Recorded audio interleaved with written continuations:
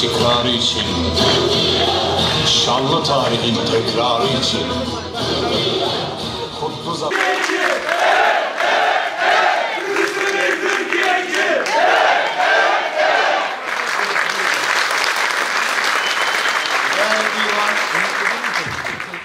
Değerli divan, çok değerli il başkanım, değerli milletvekili arkadaşlarım, Kırıkkale'mizden sorumlu il koordinatörümüz, çok değerli il kadın kolları başkanım ki kendilerine hayırlı olsun diyorum.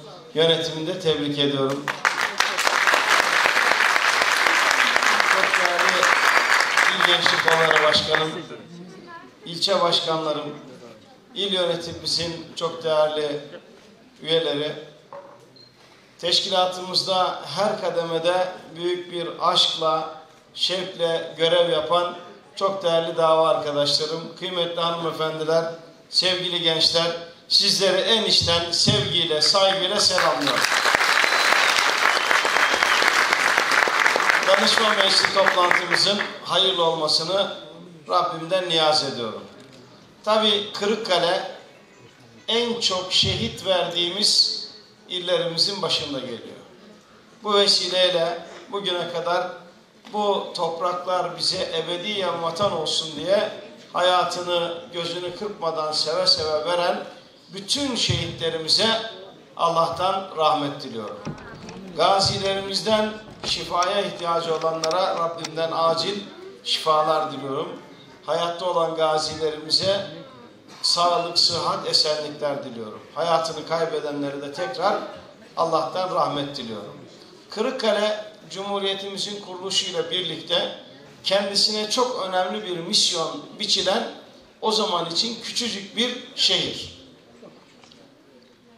Cumhuriyetimizin ilk yıllarında Kırıkkale'de çelik fabrikası, pirinç fabrikası, mühimmat, top, tüfek, barut fabrikaları var.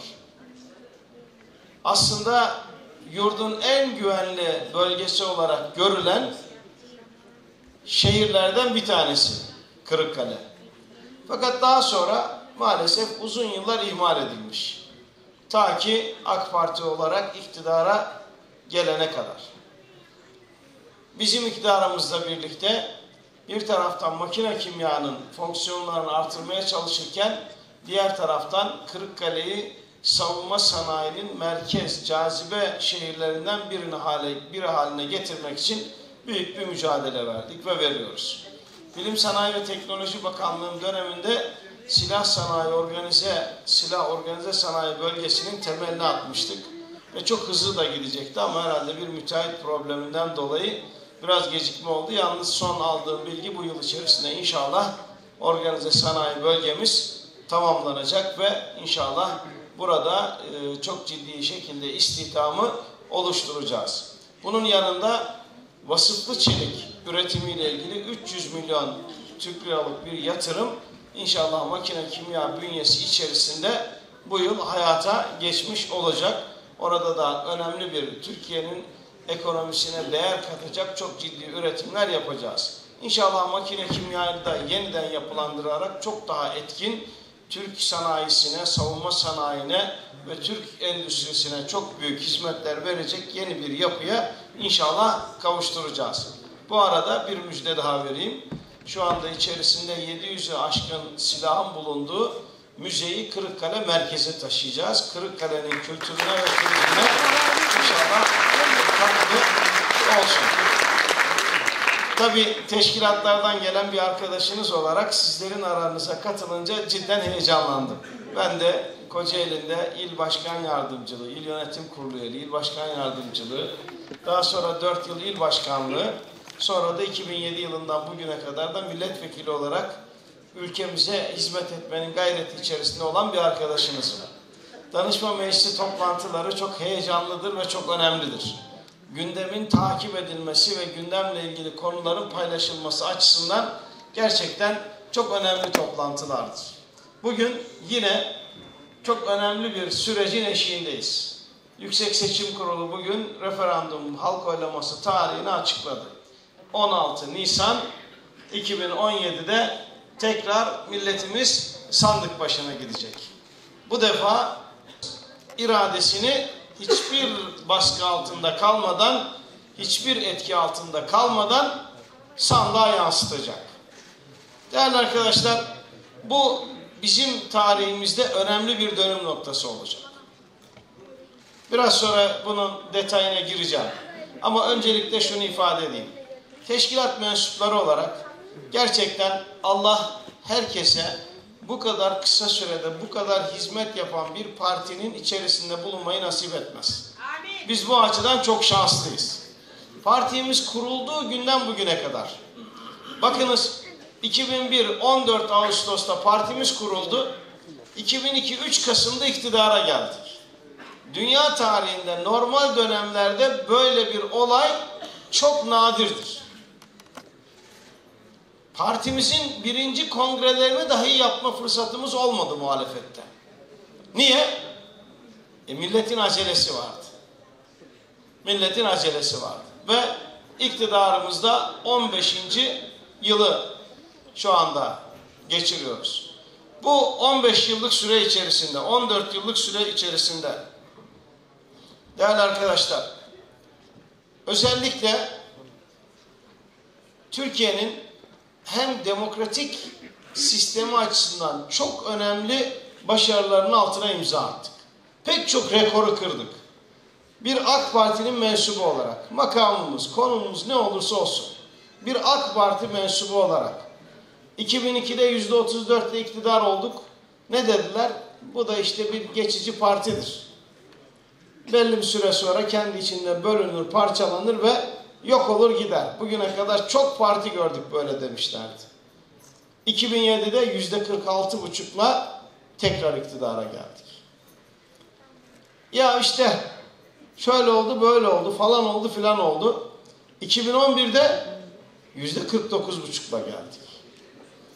Evet, 2015'in 7 Haziran'ında bir gerileme yaşadık ama hemen kendimizi toparladık ve 2015'in 1 Kasım seçimlerinde tekrar %50'ye yakın bir oyla, %50 diyeceğimiz bir oyla Türk demokrasi tarihinde üst üste 5 tane genel seçim kazanarak iktidara gelen tek parti oldu. Bu bizim iktidara gelmemiz önemli değil. Önemli olan bizim iktidarımızdan ülkemizin ne kazandığıdır.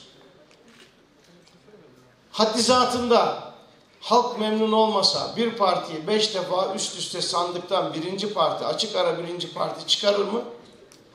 Çıkarmaz. Onun için gerçekten Cenab-ı Allah'a ne kadar şükretsek azdır.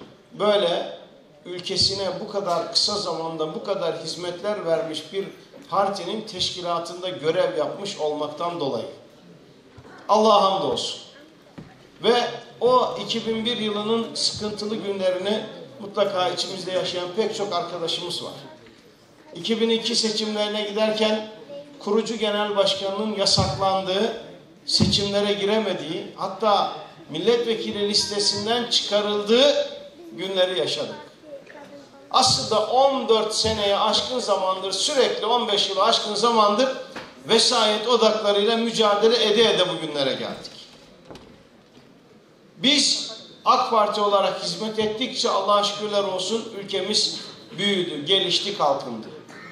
Bugün artık hangi konuda olursa olsun Türkiye ne der diye herkesin baktığı bir ülkeyiz.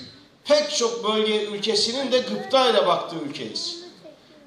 Ben dün gece yurt dışından geldim. Yarın sabahta Cumhurbaşkanımızla birlikte tekrar yurt dışına gideceğim. Çarşamba günü de hemen Brüksel'e NATO Savunma Bakanları toplantısına gideceğim. Arkasından Münih Güvenlik Konferansı toplantısında olacağım. Her gittiğimiz yerde gördüğümüz şu.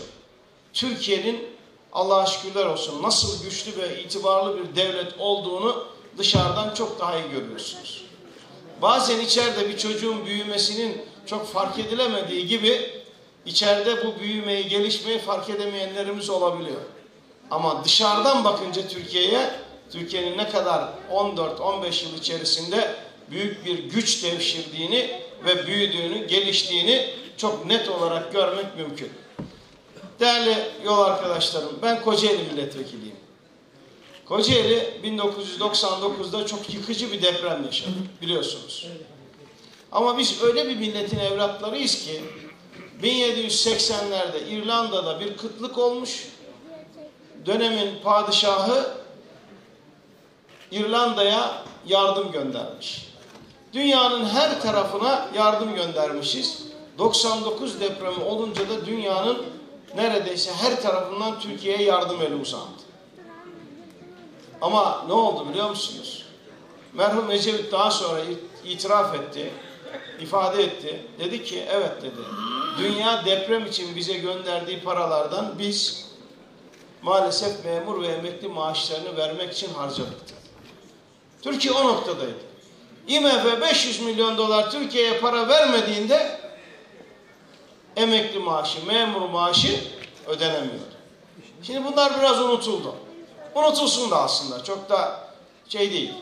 Ama bugün ama bugün artık 3 milyonun üzerinde sadece Suriyeli kardeşimize ev sahipliği yapıyoruz. Medyadan izledim. Yusuf İslam eski ismiyle Cat Stevenson Sayın Cumhurbaşkanımızı ziyaretinde Türkiye'nin bu kadar badireyle başa çıkmasının herhalde sebeplerinden biri bu kadar ihtiyaçlı insana kapısını açmış olmasıdır diyor. Biz bereket kavramına inanan insanlarız. Evet, zorluk çektik, sıkıntılarımız oldu, hala da var.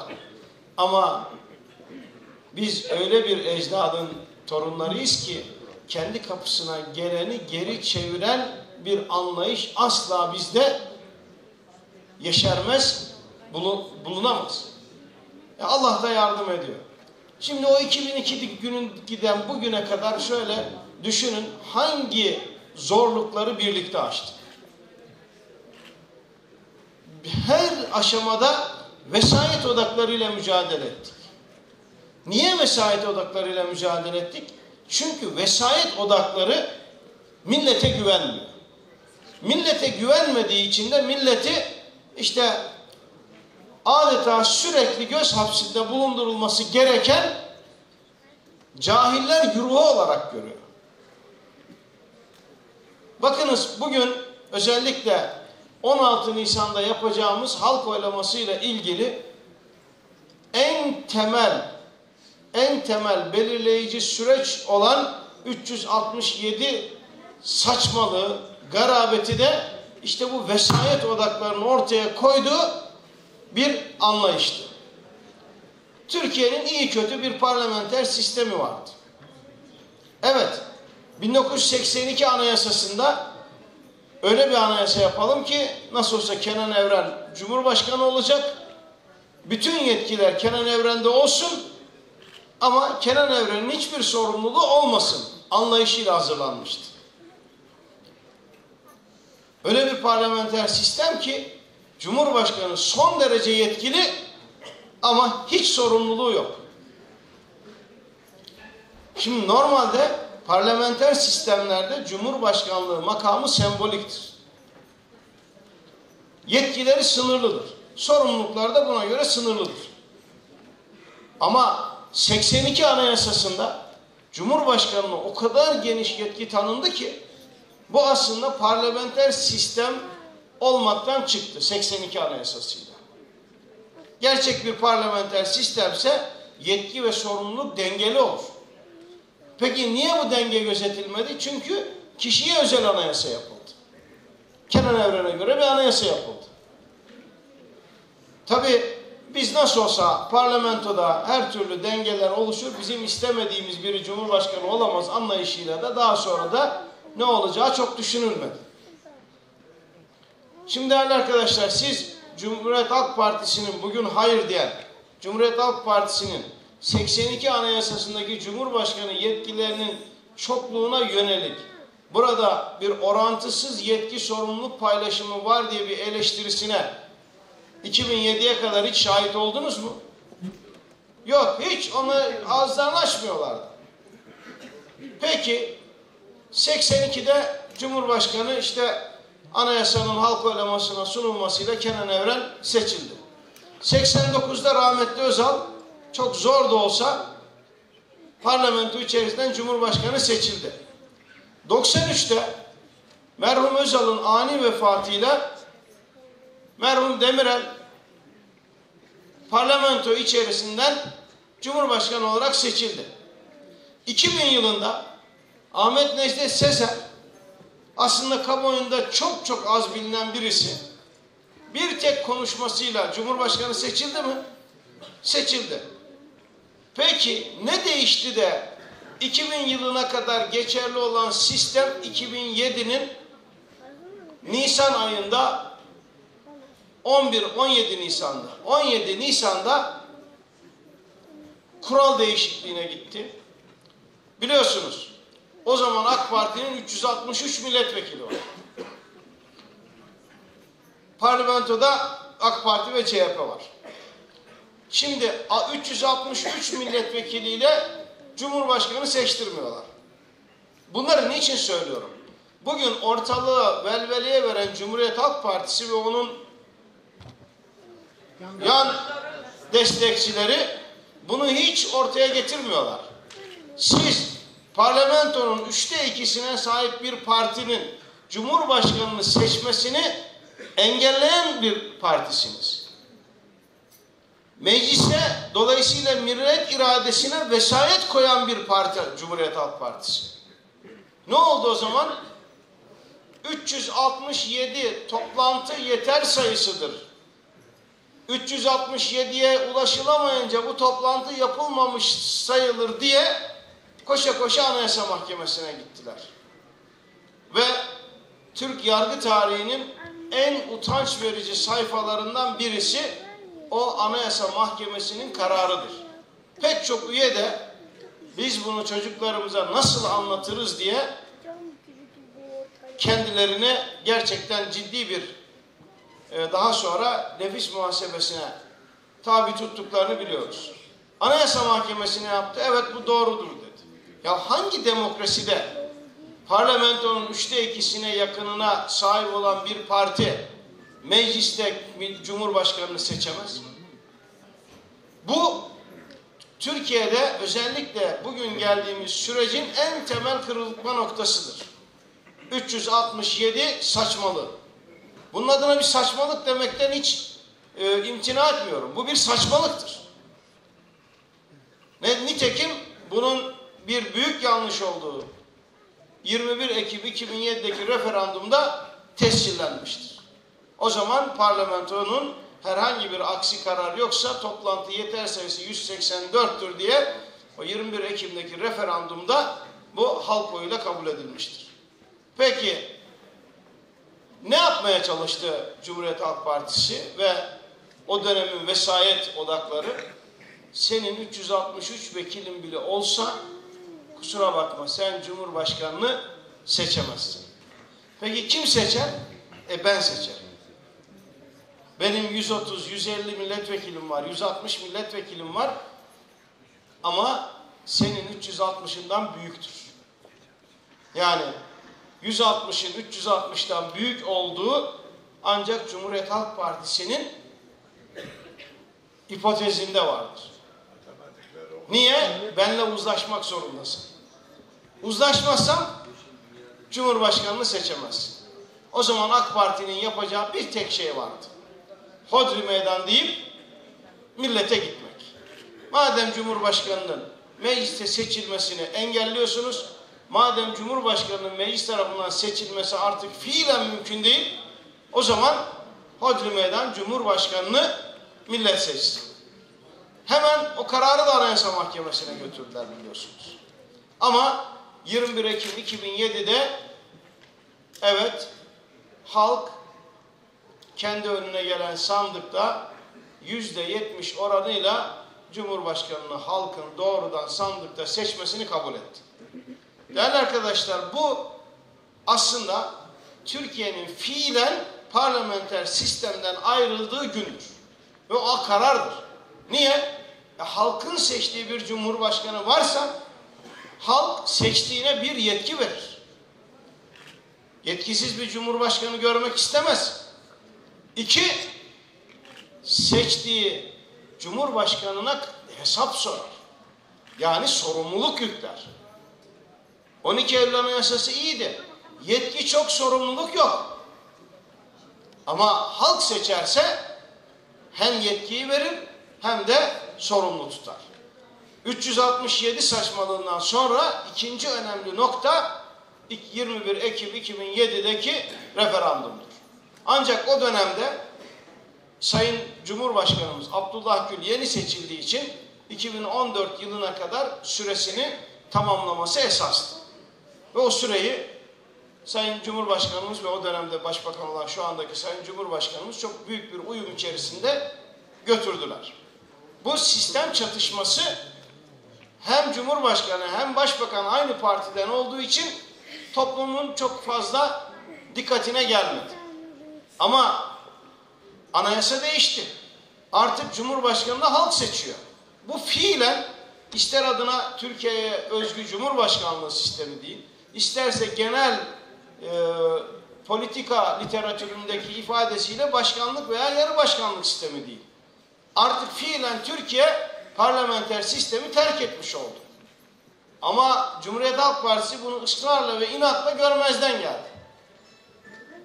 Ya gelin yeni bir anayasa yapalım ve bunu yasal zeminini oluşturalım çağrılarına hükümet sistemi değişikliğini rejim değişikliği olarak lanse ederek önünü kesmeye çalıştı. Değerli arkadaşlar, bakınız ne oldu? Şu anda size, şu salonda bulunan bütün arkadaşlara şöyle bir kendi içinizde kısa bir değerlendirme yapmanızı isterim. 7 Haziran seçimleri oldu. AK Parti tek başına iktidara gelemedi. CHP, MHP ve HDP yüzde altmışa yakın bir çoğunluk elde etti. Farz edin ki Sayın Bahçeli bunlara hayır demeseydi.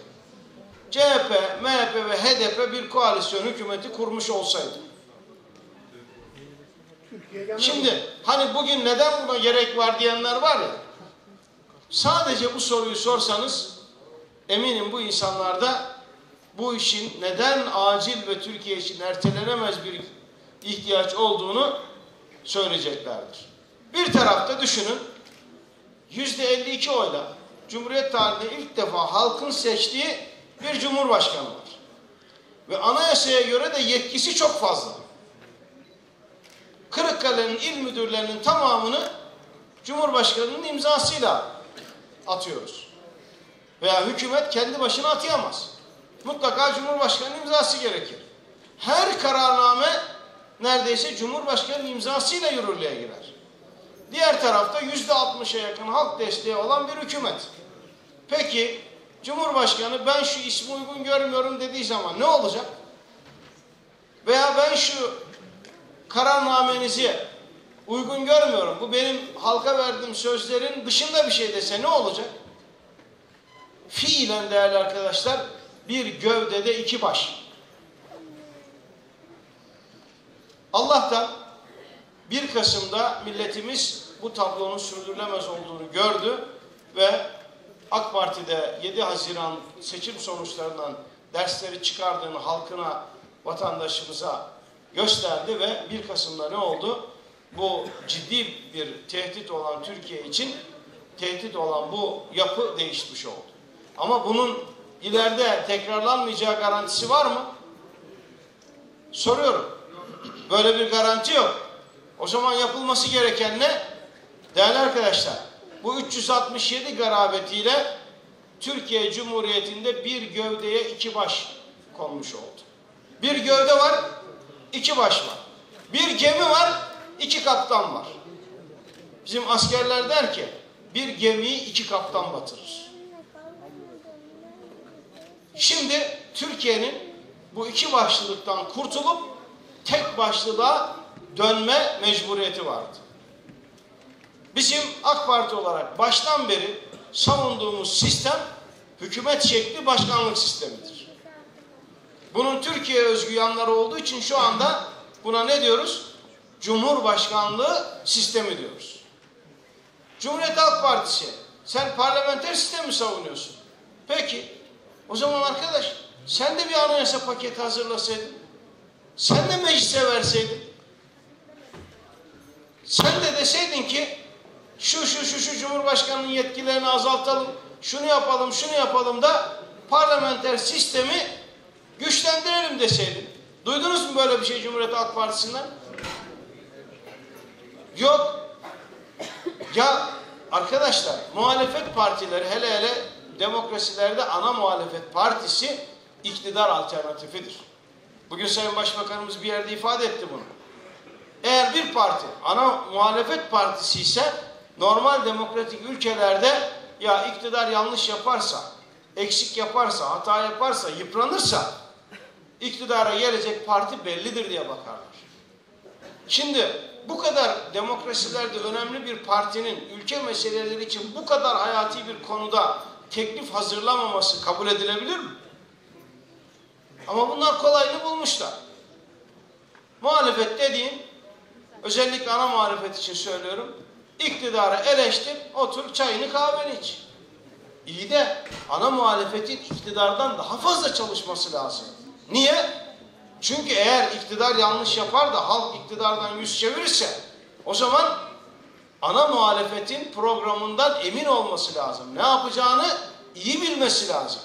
Ana muhalefette ben yoluma devam edebilirim diyebilmesi lazım. Cumhuriyet Halk Partisi'nde siz bugüne kadar böyle bir şey gördünüz mü? Hiç görmedik. ya. Türkiye'nin en yakıcı meselelerinde bile hiçbir ortaya program koyduklarını görmedik. Niye? E bunlar tembel. Tembel. Bunlar biraz çalışmak ister. Artı sadece çalışmak, hazırlamak yetmez. Bunu halka anlatmak ister. E o da gece gündüz çalışmayı gerektirir. Şimdi değerli arkadaşlar, şu anda özellikle 16 Nisan'da oylayacağımız, halk oylamasına sunacağımız paketin temel esprisi bu aynı gövdedeki iki başlılıktan kurtulmaktır. Bir gemide iki kaptan olmasını engellemektir. Efendim bu bir sistem değişikliği, hükümet sistemi değişikliği değil, rejim değişikliğiymiş. Ya bırak Allah'ını seversen ya. Türkiye Cumhuriyeti 1923 yılında rejimini belirlemiştir. Türkiye Devleti bir cumhuriyettir. Var mı itirazı olan? Yok. Türkiye Cumhuriyeti Devleti'nin başkenti Ankara'dır. Var mı itirazı olan? Yok. Türkiye Cumhuriyeti'nin bayrağı ay yıldızlı Türk bayrağıdır. Var mı itirazı olan? Resmi dili Türkçedir. Var mı itirazı olan? Peki, ha şimdi birileri itiraz ediyor olabilir. Peki, Türkiye Cumhuriyeti demokratik, layık, sosyal bir hukuk devletidir. Var mı itirazı olan? Peki, o zaman nasıl oluyor bu rejim değişikliği? Ha, Cumhuriyet Halk Partisi ısrarla tartışmayı rejim değişikliğine çekerek vatandaşa bir korku vermeye ve bu referandumun reddedilmesine veya halk oyunda bu paketin reddedilmesine çalışıyor. Ama bizim halkımız feraset sahibidir. Kim neyi niçin yapıyor bunu çok güzel olarak net olarak ne yapar? Görür. Bir taraftan da değerli arkadaşlar doğrusu şunu da söylemeden geçemeyeceğim. Cumhuriyet Halk Partisi'nin aslında olayı bir rejim tartışmasına çekmesi aslında Türkiye Cumhuriyeti'ni de biraz küçümsemek anlamına geliyor. Ya bu, bu rejim bu kadar zayıf bir rejim. Yani ne yapmaya çalışıyor Cumhuriyet Halk Partisi? Daha önce yapması gereken çalışmaları yapmayan, sınava hazırlık yapan talebenin sınavı iptal ettirmek için gayret etmesine benziyor. Bu değerli arkadaşlar bir rejim değişikliği. Bu bir hükümet sistemi değişikliği. Ülkeyi kim yönetecek? Şu andaki sistemde. Ben Kocaeli milletvekiliyim. Aramızda Kırıkkale milletvekillerimiz var. Genel merkezimiz bizi listeye yazıyor. Sonra seçime giriyoruz. Halk oy veriyor.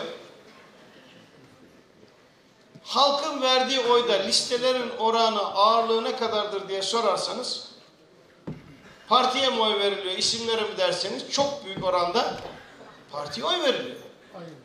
Doğru mu? Peki sonra ne oluyor? Milletvekili seçildik ya artık tamam. Dokunulmazlığımız var.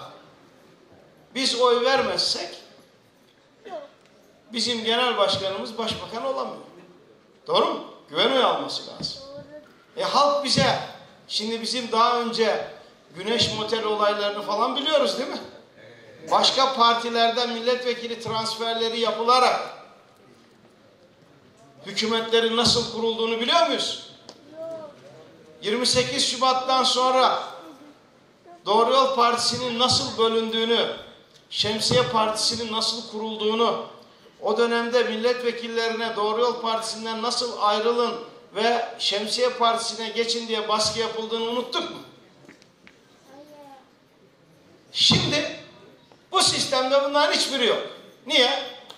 Artık sandığa gideceğiz, ülkeyi kimin yönettiğini doğrudan belirleyeceğiz.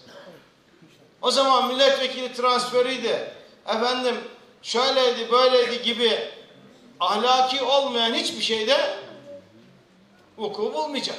Şimdi buna niye hayır diyorlar ki anlamıyorum.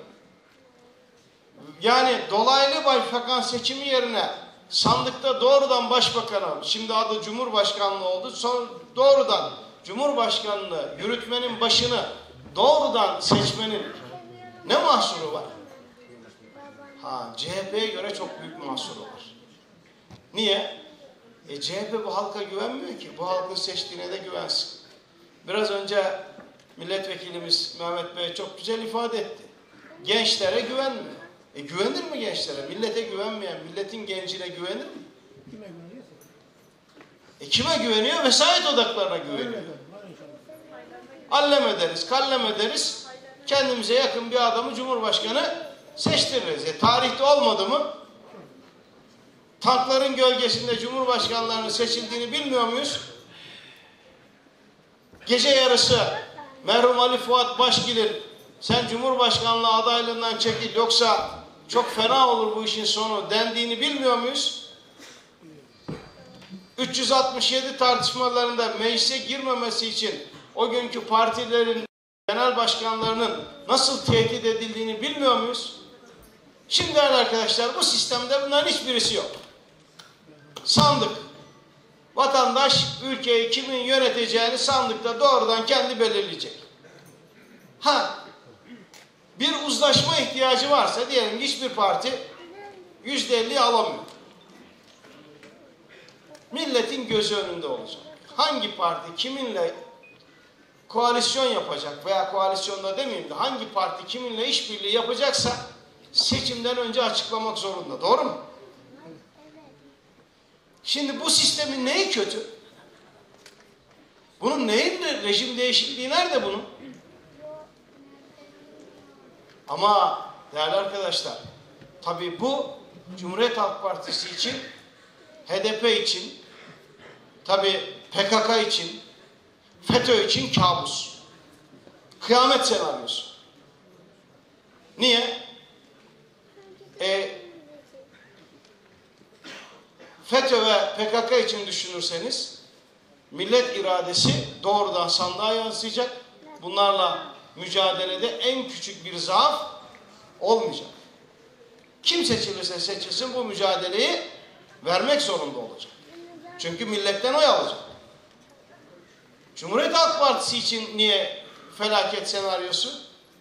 Değerli arkadaşlar, Cumhuriyet Halk Partisi bugünkü anlayışıyla bu halktan, bu milletten yüzde elli oy alma şansı var mı?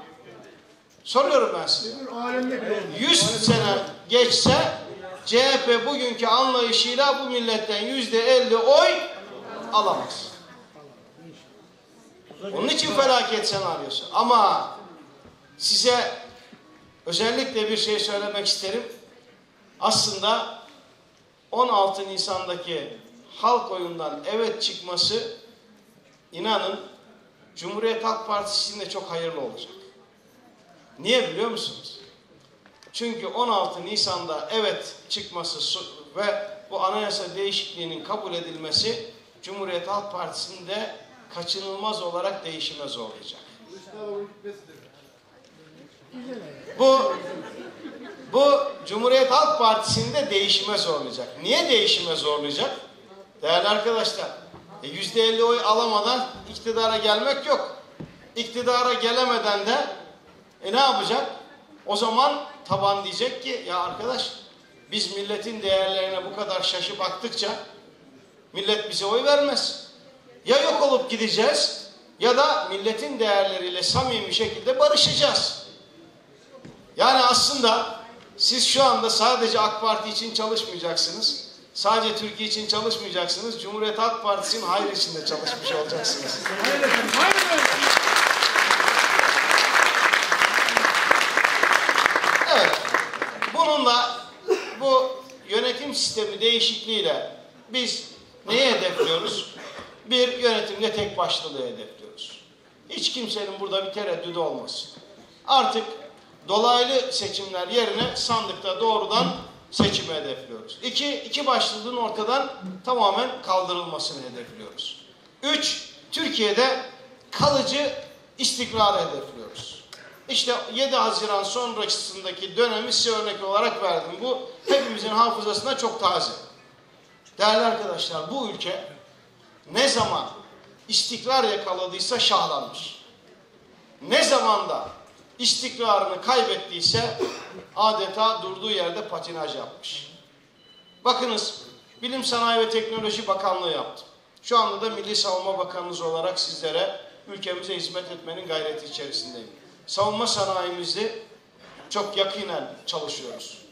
Değerli arkadaşlar, dünya sanayide çok büyük yol al- hamleler yaparken, çok büyük yollar alırken, iyi mesafeler alırken Türkiye hep yerinde saydı. Bakınız Türkiye'nin istikrar dönemi 1950-60 Türkiye'de büyüme oranlarının en yüksek olduğu, işsizliğin en hızla düştüğü dönemler. 60'lar biliyorsunuz ihtilalle kesildi. 65-71 dönemi. Adalet Partisi'nin tek başına iktidar dönemi. Türkiye'nin büyümesinin en yüksek olduğu dönemler. Yine 71'de muhtırayla kesildi. 83-89 dönemi, 87 dönemi diyebiliriz buna. Türkiye'nin en hızlı büyüme yakaladığı merhum Özallı yıllar. Ve 2002'den bugüne kadar AK Parti dönemi. Türkiye'nin en hızlı büyüdüğü yıllar. Bu neyi gösteriyor biliyor musunuz? Türkiye kesinlikle yönetimde istikrarı sağlamak zorunda.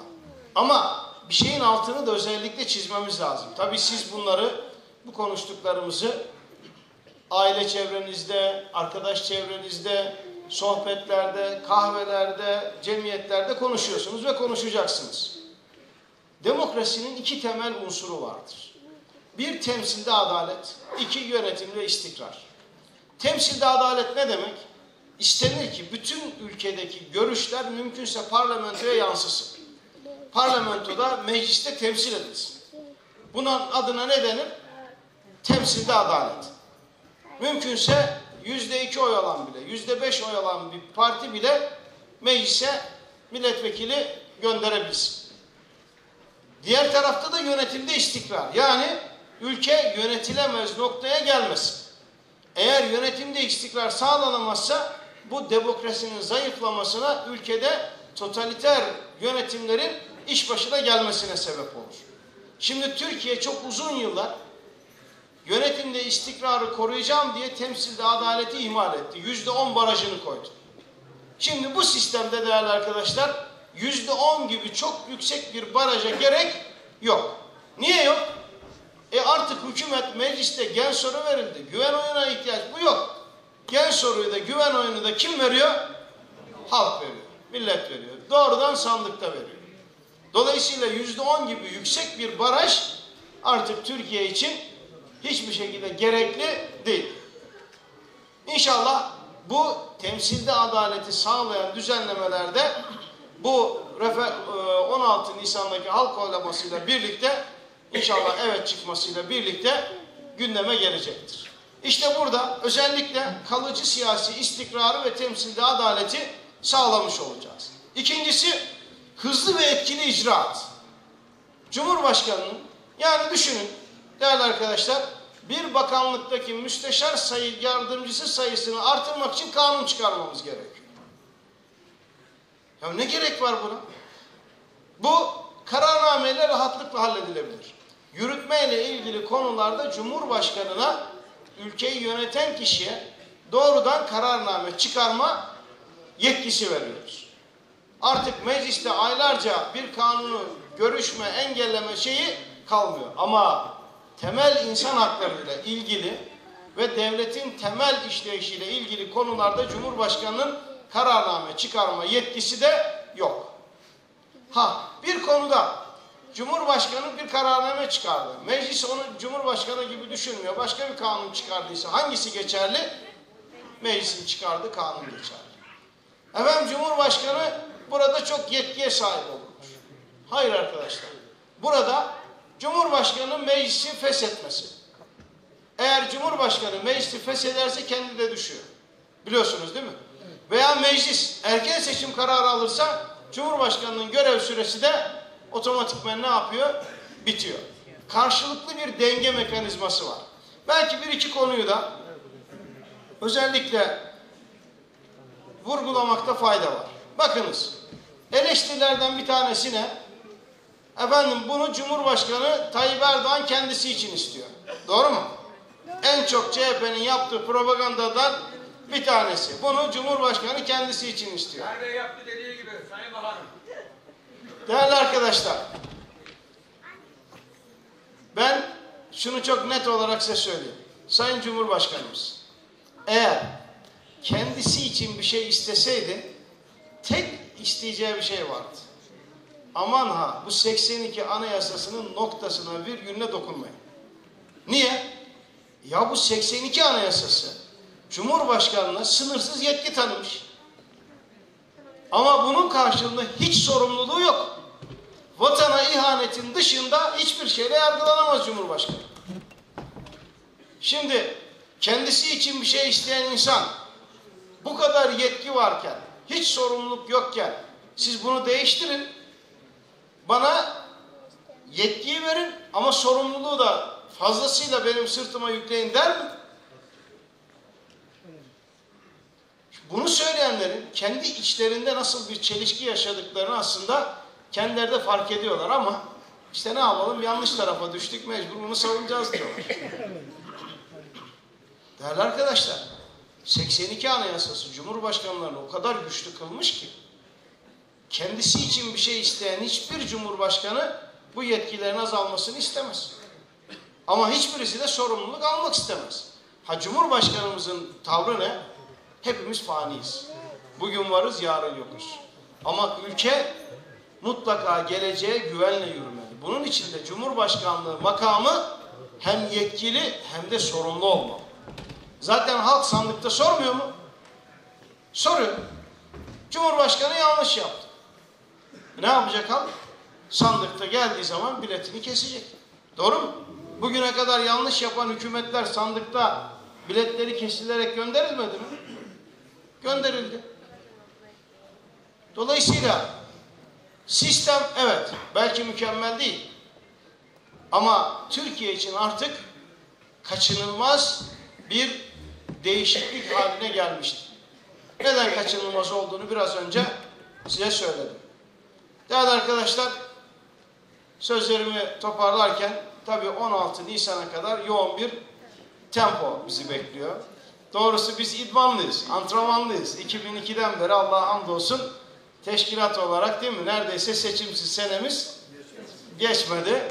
Bir de alanları da seviyoruz. Halkımızı seviyoruz, sokakları seviyoruz, mitingleri seviyoruz değil mi? Kahveleri seviyoruz, ev sohbetlerini seviyoruz. Kadınlarımız maşallah ev ev gelip insanların gönüllerini almayı biliyorlar. Gençlerimiz her ortamda fikirlerini hem beyin e, teriyle hem de kas teriyle e, savunuyorlar. Kas teriyle savunmaktan kastım bayrak asıyorlar, süsleme yapıyorlar. Başkası yanlış anlamasın sonra. Yani bilek gücü demiyorum, şey açısından söylüyorum. Dolayısıyla şimdi yine bir e, önemli süreç için çalışmaya başlıyoruz. Ben inanıyorum sizler bu yeni sistem değişikliğini en güzel şekilde Kırıkkale'ye anlatacaksınız. Bütün ilçelerimizde, il merkezimizde, mahalle mahalle, cadde cadde, sokak sokak, ev ev anlatacaksınız. Zaten halkımız hazır. Bakın bizim teşkilatlar olarak en temel görevimiz ne biliyor musunuz? Halkımızın hatırını sormak. Elini sıkmak, şöyle gözün içine samimiyetle bakıp tebessümle selam vermek. Bunu yaptığınız zaman zaten işin önemli bir kısmını halletmiş oluyorsunuz. CHP'nin başarılı olamadığı yer de burası. İnşallah olamaz abi. İnşallah. Yok şöyle, şöyle. İnşallah değişirler diyelim. yani. Bu tavırlarını değiştirirler. Evet ha hayret. Evet. Dolayısıyla ben inanıyorum ki sizler bu süreçte elinizden geleni yapacaksınız. İl başkanımız, il başkanlığımız SKM'yi kurdu herhalde. SKM'ler kuruldu. En güzel çalışmaları yapacaksınız. Biz çalışacağız. Takdir Cenab-ı Allah. Biz milletimizi anlatacağız. Son karar milletindir. Demokrasilerde sözde, kararda milletindir. Bizim meclisimizde ne yazıyor? Hakimiyet bila kaydı şart milletindir. Gideceğiz, derdimizi anlatacağız. Neden böyle bir değişikliğe ihtiyaç duyduğumuzu anlatacağız ve milletimizden destek yiyeceğiz, isteyeceğiz. Ve inanıyorum ki milletimiz bize gerekli desteği verecek ve Türkiye bu yeni yönetim sistemini hayata geçirdikten sonra istikrarının daha kalıcı, kalıcı olacak. Mecliste daha temsil oranı çok daha yüksek olacak. Ve özellikle Türkiye'nin bir daha istikrarsız sürece girmesi engellenmiş olacak. Ben her birinize başarılar diliyorum. Allah yar ve yardımcımız olsun.